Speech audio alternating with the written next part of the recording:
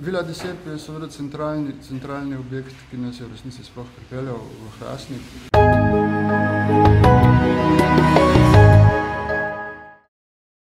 Pred 125 leti zgrajena hrastniška vila po vzoru gradu Miramar v Trstu ni v najboljšem stanju. Lastništvo pripada steklarni Hrastnik, ki je obnovila streho, da bi objekt vsaj delno zaščitila pred propadanjem, a vila že zadnjih nekaj let ni imela najboljšega obdobja. Tudi pisarne, ki so bile v njej, so pred leti prestavili zaradi nevarnosti. Nujna pozornost ta trenutek potrebna, da se usmeri v vilo in takšen zaklad in arhitekturni in če se bomo prav obnašali tudi vsebinski, je je zelo hitro lahko velik presežek ne samo za promocijske dejavnosti največje industrijske družbe v teh krajih, ampak seveda tudi celotne občine Hrastnik.